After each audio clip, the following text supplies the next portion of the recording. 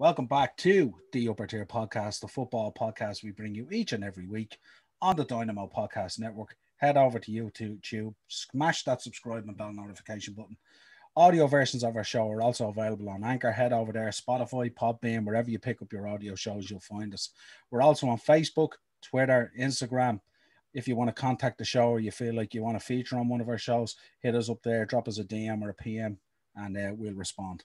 And joining me today for our FA Cup preview um, is joining me is Alex from the blue side of London. We were supposed to have Wayne on, but I think he got caught up and he got delayed. So I'll do my best to represent City as best I can um, during these hard times after coming off a bad Champions League loss. Um, there you go. See, Liverpool out of Europe. It's like, oh well, let me just have root around my wardrobe from my City jersey. Even got the Pep Guardiola flag behind you. Yeah, well, look, I, I, I, do my best to be impartial as I can on the show, you know. It's like um, when I um, saw my mate who had a Manchester City raincoat. I was like, "What do you have that for?" He says, "I just for a rainy day." Yeah, it was a, it was um, it was um, yeah, it was um, it was on discount on Sports Direct for a fiver, so I picked it up, you know, that kind of way. Yeah, plus delivery. Absolutely. Yeah, plus delivery. Yeah, um, although delivery was probably free on the Man City raincoat. Fair. Um, yeah, when when we came on and I saw that uh, Wayne wasn't here, I was like, this is going to be an extremely uh, biased review. It'd be like Chelsea win it all. Good night, folks. I, I'm I'm okay with that. I'm okay. Bias is good if people don't show up, you know. Um, what you're taking? I mean, I suppose I wanted to kick it off. I mean, knowing what we know now in terms of Boaty is into the semi final at this stage of the Champions League and semi final coming up the weekend. Mm. How do you feel about the FA Cup? I know it's another trophy and I know it's one of the big three or big four or whatever way you want to look at it. Um, but is it a priority for Chelsea? I think that the FA Cup is see the FA Cup's a strange one. It is, as we both know, the oldest cup competition in the world. It is a competition with a lot of history behind it. You know, they say everybody wants to win the cup. I mean, years and years ago, I'm sure when you know you were younger, watch football, it was as big as the league to win. Like you won the FA Cup was on par with the league, but. Mm. I think over the last 20 years or so, actually, to be honest, I'd say if we go back, yeah, probably to 20 years ago, remember Ferguson actually said uh, he had United not competing in the FA Cup. He said, "No, I want us to go over and compete in the Club World Cup," and just he took them out and compete in the FA Cup altogether. Yeah. I think it was kind of deteriorating because of the influence of the Champions League. But when you saw that with Ferguson, I think that really kind of uh, that really showed people that it wasn't high in the priority of you know the top clubs like that. And yeah, look, I just think over the years with the revenue and the TV rights and stuff, there's just much more emphasis on the likes of you know your Champions League, even trying to get into the Europa League and you know trying to win the Premier League and see, it's a weird because I like the FA Cup. Like I got my little FA Cup winners post from 2007 behind me here. So it is a nice thing to win, but like it's not kind of you know, say for example, if Chelsea finish fifth or sixth and we win the FA Cup, like I wouldn't be like, oh, you know, great season. Although we finished fifth or sixth, we won the cup. Like you'd be looking, going, you know, that's not a good season. Yeah, I think it's it's it's very hard. I mean, obviously Chelsea have a decent squad as well there, you know, of mm. players, but it, it's very hard to sort of prioritizing one over the other because you know inevitably you could crash out to Real Madrid in the semi final. Um, yeah. And then imagine you prioritize that and sort of fielded a weaker team in the, the FA Cup semi final and sort of mm. thrown it away, say. Um, you might regret it. And plus, there's all to play for in the top four race at the moment. So, um, Chelsea are fighting on a number of fronts at the moment. I know Kovacic is out for the match and um, picked up an injury there. Um, we haven't seen the pressers yet. Um, but it'll be interesting to see what comes mm. out of that. And obviously, Kante came on, but he's only coming back from an injury himself as well. So he was lacking a bit of sort of match sharpness and stuff like that. Again, not a bad replacement at all when you think about it. Yeah. Um, but yeah, it's like you know, you get the feeling when you get to this stage and it's a semi final, then you kind of like you, the romance of the cup, if you like, builds. Yeah. You know what I mean? As opposed to like your first round match against, say, Swindon or Blackpool or whatever it is. You know what I mean? Um, but I, th- I think um, I think this is time for Tuchel to, to be really, really careful because he, he's on the cusp of yeah. something really great. Imagine coming in halfway through a season and you win a Champions League and an FA Cup and Roberto you get a, the top four. Yeah, like I mean, you're you're talking. This is this is legendary stuff, you know, in the yeah. first six months of your career there, you know. Um, and hopefully they don't they wouldn't do to Tuchel then what they did to Roberto Di Matteo oh, following Jesus, that. Yeah. um, but yeah, you you you think it's still a priority on Chelsea calendar at the moment and still something that they they're going to go yeah. for. Yeah, I, I think. Look, I think although it's not you know the main priority for the club, like you even see the Carabao Cup, like you know it, it's nice to win a trophy. Like it's nice to look back and be like, you know, God, well, we got some silverware that season. Although it's not the be all and end all, I would still consider it a poor season spending two hundred million to finish fifth or sixth and get the FA Cup. Um, yeah. it's just coming at a time where I suppose there's a lot of it's really, I suppose, the business end of the season. This is when all the games are important. And we play City on Saturday, then we play against Brighton on Tuesday at the bridge. But then the following weekend, we're away to West Ham. And then we have the first leg away to Real. So you're kind of looking, going, okay, out of all of those games, the FA Cup is the one that if it was like, okay, you have to lose one of those games, which one do you want to lose? I'd say, look, FA Cup. That, that's yeah. the one I'm willing to lose out of those four. Yeah, because the West Ham game now will be massive looking yes. at the league table. Yes. You know, that's a massive game. Um, looking at the form at the moment, Man City two defeats in their past thirty-seven games. I mean, what what a, what a run they're on. Now I preface that by the Leeds defeat, mm. but again, I mean, Pep tinkered with the team and did a few made a few crazy decisions and. And I mean, it was a ten-man Leeds, but it just goes to show you, like, if you're if you're up for it and you get at them, you, you know, you you know, magic can happen sometimes, you know. Yeah. Um, not dissimilar to Chelsea in terms of Tuchel coming in, 12 wins out of 18. Um, very impressive. Yeah, it's, it's been a good record. Only, yeah, and only the, the one defeat now against West Brom. I know, apart from that, apart from that crazy, crazy game against West Brom, we haven't seen more than one goal in the game under Tuchel as well. So, I, I mean, it's going to be an interesting game because had it been a few months ago, like when we had Lampard, although I saw the poster up there, like I said, you don't have the heart to take it down yet. And um, if someone had told me in December, like when we were losing all those games, you know, you're going to be in the semi final of the Champions League, semi final of the Cup, fighting for the top four, I'd have said no way. But see, it's a strange one for Tuchel because a few people have seen him kind of written this game off, saying, well, you know, City are unstoppable and this and that, and City are great, but I don't know. It's just for me, for all the kind of big tests that Tuchel has had, he's passed them. Like, you know, we had Atletico in the Champions League, he made it look easy. We played yourselves away, we played uh, Tottenham away, you know, beat Tottenham and Liverpool away from home, you know, played the likes of United and stuff like that, where, you know, unbeaten there too. So I'm kind of looking going, I don't know, because as Leeds showed, City can be got at. And I know United uh, showed them, they beat them at the Etihad, City can be got at. So I don't know. It all depends, I suppose, what kind of city shows up. I know they will be focused and go for this quadruple, but I think we can definitely, but we can definitely beat them if we do play our game right on the day. Yeah, I know. Speaking, I know. Speaking to Wayne prior to the Champions League match, he was very concerned insofar as he said they could all crumble, come crumbling down, and they, they could win, end up winning nothing. You know, yeah. even United, they did the comeback against United back when, and they could he said that he could see it happening again, but in reverse. Um, but I said to him, I said I wouldn't be worrying about that. I even told him last night. I said, look, you'll you'll do the business against Dortmund. Don't worry about that. And yeah. then he he texted me, he messed me after game saying, yeah, you were spot on. I said, look, you're you're way too talented to be doing something like that against Dortmund. And and I mean, you have the experience now you know, to go all the way. It's about time that City actually stepped up to that next level when it comes to those semi-finals and finals in Europe, you know. Mm. Um, but then again, I mean, they have a huge task on their hands now against PSG. Yes. Um, that's going to be massive. And I'd imagine PSG at that stage will have a number of their key players back. I mean, if you look at the PSG team the other night, it was only like they were obviously missing four or five players there, you know, if they're starting players. Mm. Um, so they'll be way much stronger when um, City roll into town, you know. Um, yes the defeat of West Brom. I mean, looking back on it, I think it was it was such a strange game. But to me, it was mm. like, you know, it was probably the wake up call maybe that Chelsea needed because they'd been coasting along. Um, and beating teams, but not beating teams impressively. Just we yes. said it before, workmanship, if you like, one nils, two ones, just coasting along, getting the job done, game by game. The the grinding out that you expect from a solid Chelsea team, you know. Um, so when West Brom came along, that must have been like an eye opener for Tuchel to go, wait, hang on a minute here. And um, let's refocus and reset and let's go again. And um, that's why I think Chelsea are going to be very strong now in the run in both in Europe um, mm. and also in the FA Cup and also in um, in the league. You know, I think they, that that West Brom defeat, um, where it might have seemed bad at the time, could be the the catalyst to push on for the rest of the season. Yeah, like I call it like kind of a free game because I was like, oh, geez, like, you know, this is, you know, nobody was expecting that. I think if you even asked the most diehard West Brom fans, you think you went 5 2 at the bridge, nobody would have backed that result. But yeah, it was kind of a strange one because I remember before that game, I think in the international break, I think a couple of the players have done interviews and they've done, you know, I'm sure you know as a Liverpool fan, the dreaded interview when your players come out to the media and say, "Oh yeah, like we feel we can win any game. We feel like we can't be beaten." You're like, "Well, guess what's going to happen next time you play?"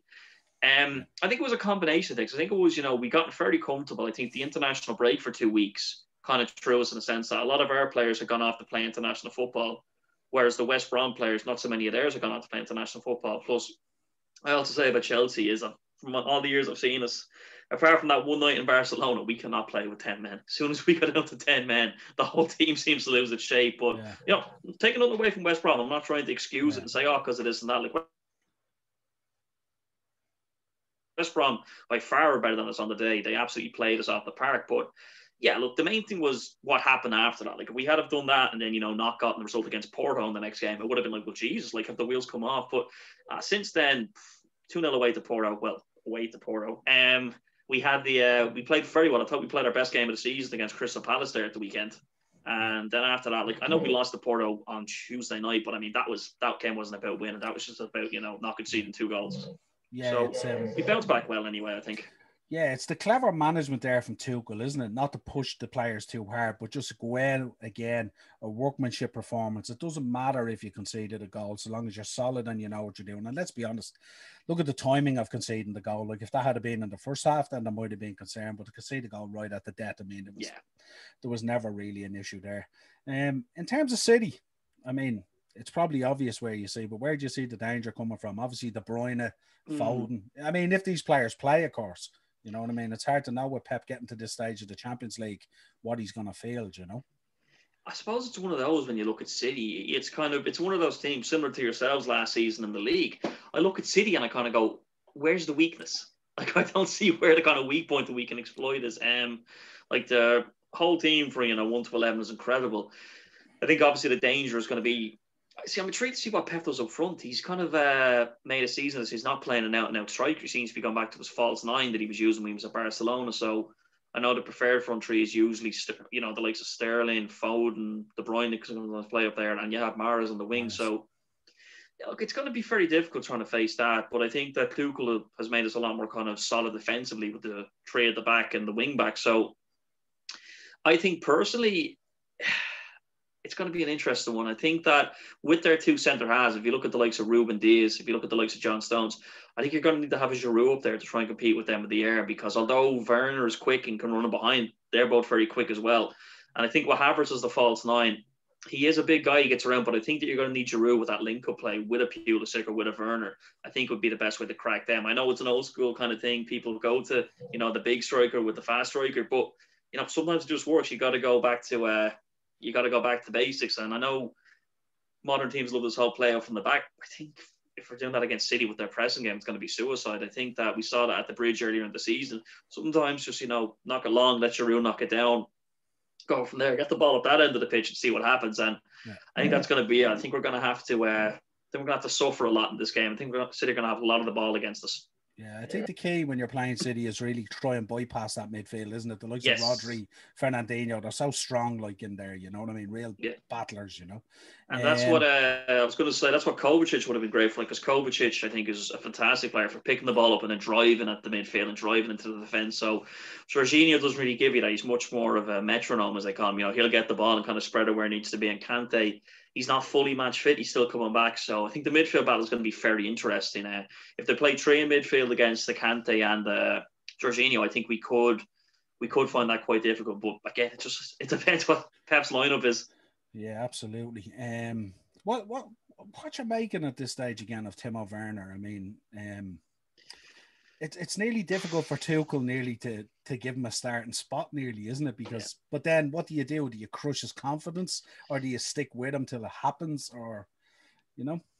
It's one of those again. Like I mean, it's a scenario that I'm trying to give the answers to, but I mean, how many times have we seen this happen with strikers at Chelsea? I mean, you go back years ago. You go back to even when Roman first came in. You know, you had Mutu, you had Kezman, you had Shevchenko, you had Falcao, you had Morata, you Torres. Now you've got Werner. So I mean, like these are all you know big names in the game of football. These are all players that were scoring lots of goals and coming in and expected to do the business. So it's strange what we're Werner because he started off so well. kind of reminds me a bit of him, right? He started off so well and he was scoring for fun. And I was thinking, geez, you know, we really have that striker that we needed. But I don't know. I, I think he's a player. You could see his confidence is way down. Like I remember we played in the cup earlier in the season. I think it was when we were playing Morecambe, I think, or Luton, one of the games earlier in the cup. I can't remember against who, but he had a penalty. He won the penalty and was like, "Oh, you know, team, I'll get yourself a penalty here." He couldn't even score the penalty against League One opposition. So yeah. you're kind of looking, going, man, it's it's sad to see, and I think. I think the media doesn't help. Like, you know, how often do you hear a player like that? And it's like, you know, oh, you know, this many games without a goal and this and that. And I know they say, look, it doesn't bother me, but it has to bother you somewhere. Like, I mean, when you're seeing that left, right, and center, it has to body. And he's 24, 25. He's still a young guy as well. So I think a lot of pressure been put on him, and it is sad to see kind of how low his confidence is. It really is because like there's been a few games where he's played well. I know there was three games there earlier. I think it was in March where he was a man of the match. He was playing quite well, setting up lots of chances, running down the channels. But as a striker, you're judged on goals. Yeah, well, it must have been. Um, you must have been very happy to see Havertz bag his goal there the, the other week or mm, whatever. Took it, well, and also Pulisic back to form. Yes. Um, with the two goals, I think he got, wasn't it? Two goals he bagged? Yeah, it was two goals against Palace. And I know last season when we came back after the break and we had uh, we got top four in the end. Our two biggest players for that run in last season were Pulisic and Giroud. Mm. So Pulisic was outstanding. I thought he was the best player when the league started back last season, and then Giroud, you know, scored a lot of big goals for us. So, you know, I, I wouldn't be against going back to the old Tried and trusted combination against City this weekend. Yeah, and it wasn't it wasn't only even the goals. It's not like they were like you know knock-ins. I mean, it was it was the manner in which he took the goals, and um, the skill of them and stuff like that. You know, it was like a player really back confident yeah. in his game. You know, um, which was interesting to see. Um, at the back for City, Dias is there, probably being one of the top central defenders, if you like, in Europe and in the league this year. Um, he's been an outstanding boy for a lad. I think he's 23 years of age or something like that. Such a young player as yeah. well for that position. What have you made of him this season? I think he's been excellent because uh, last season the big kind of Achilles heel, which City was at their defence.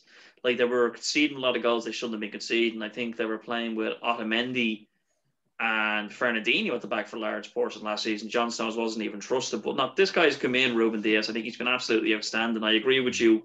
I think he has been the best defender in the league this season, and um, yeah, he's really changed your team around. It almost reminds me of when you guys signed Van Dijk. It's amazing what getting that top centre half and just to keep things calm at the back can do. And yeah, look, he's completely transformed. They look a completely different team with him at the back. Yeah, it reminds me what what they went through with Fernandinho at the back reminds me of us this season. What we've had to do with Fabinho, yeah. Um, and it's only in recent times he's gone back into his natural position, you know. Um, so yeah, I mean, what you're thinking on how it plays out? I mean, give me a prediction here. Give me a few goal scorers. Is this going to be a chess match? Is this going to be a, a goal scoring feast? What is it? You know what we'll do? We'll go. I'll go with a hope one. I'll go two one Chelsea because you're always going to back your team with these predictions. I go two one Chelsea. I think it'll be a fairly tight game. I hope it'll be a fairly tight game. It just depends if City come up and try and bloody blitz us. yeah, it's. I'd like to think two one. I'd like to think that we're going to be solid at the back, but you have to fancy City to score a goal. Like you have to fancy City to score a goal in any game they play. I think, and I'll go with a very hopeful prediction with my heart, not with my head. I'll go with my heart and say two one Chelsea, and uh, hopefully, hopefully into the FA Cup semi, hopefully into the FA Cup final, hopefully against Southampton. We'll see. Maybe Southampton doing a visit against Leicester sets us up nicely. Imagine. Yeah. Um, I suppose if you're calling a goal for City, it'd have to be Kevin De Bruyne, wouldn't it? Ah, he loves a goal against us. Uh, Flair that just uh, Flair that got away and loves a goal against us. And uh, I think if we're going to get a goal ourselves, I'll go. I don't know. Giroud amount for us. Hopefully, Giroud gets a game, gets a goal. I was listening to a story there the other day. We have a transfer show coming up tomorrow, but I was listening to a story there the other day. A little whisper that Chelsea might have an interest in Sergio Aguero. Mm. What you thinking on that? The, the prospect of signing Sergio Aguero, my reaction to it is the exact same reaction I had to sign Thiago Silva. In the sense that when we signed Silva, I says, okay, I'm excited, but I'd be a lot more excited if it was five years ago. I think Aguero is a fantastic player. You know, he's proven at City he'll get you goals. Um, I'm just worried about his um his injuries lately. Like, I mean, he's a top, top, top striker to have at the club. Mm. You know, one of the most lethal finishers we've ever seen in the Premier League. I know he could probably help in the training ground with the likes of a Werner or someone like that, or even a Tammy Abraham if he sticks around to try and help them with his finishing. But I don't know. I think if he is available on a free, And if he is available, you know, relatively okay wages and he's happy to not be the main striker at the club, I say, you know, why not? On his day, he's a absolutely top class striker, and so having someone with that experience in the fold can only help. Because I know, although he hasn't played every game this season, Silva, I think at the back, his experience and what he's taught the other lads has really helped. Yeah, I, I think he's a he's a tantalizing prospect to have on any bench to spring from yeah. the bench, isn't he? And I'm I'm even thinking when you look at Chelsea there this season and you look at the opportunities that Timo Werner's had, if Sergio Aguero was on the end of them, good lord, how many goals would he have this season? You know? Exactly. Um, I'll give a little prediction. I'm thinking three one Chelsea. Really? Uh, okay. Yeah, and I'm thinking, like you said earlier, this is tailor made for Giroud to be that big annoyance up there again. I love when they play that way because yeah, I I just love Olivier Giroud. You know, I just think he's a great footballer. I do too. Yeah, um, but I'm thinking three one. Um, he's also uh, behind Mbappe and Haaland, top scorer in the Champions League, third top scorer. So yeah, yeah which is yeah, mm. unbelievable. Um, but as always, it's been a pleasure, Alex, having you on. Um, we'll send out the bounty hunters to track Wayne down. I thought I was sure he'd be on today after that big win last night, but um, maybe he's nursing a hangover or something from celebrating or something like that. Who knows? Maybe so. Maybe uh, maybe he's uh, freaking out the prospect of uh, semi-final the FA Cup and potentially a Champions League final against Chelsea. Yeah, absolutely. Listen, before we head off, tell everyone about the chats.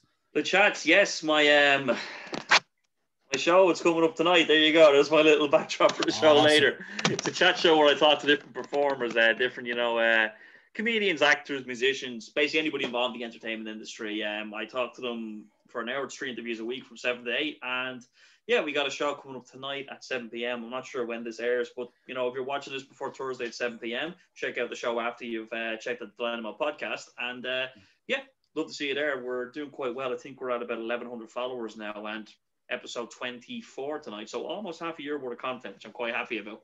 Awesome. And do you give away any guests at this stage, or is it always kind of a surprise? Or? Give away any guests? Yes, yes. I have uh, three comedians on tonight. I have uh, a couple comedians from Ireland and a comedian from America. So uh, international, the show has gone. It's, it's pretty good fun. Nice, nice, nice. Well, as always, as we say, head over to the Dynamo Podcast Network.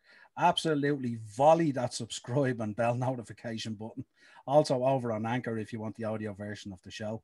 This has been your Chelsea Man City FA Cup semi final look look ahead. Alex, appreciate you coming on, my man. Yeah, no bother, man. Thanks for having me. It's always uh, it's always nice to talk about Chelsea and uh, semi-finals of competition. It's been a while. Brilliant. Talk to you again soon, Alex. Cheers, bud. See you, man. Bye bye.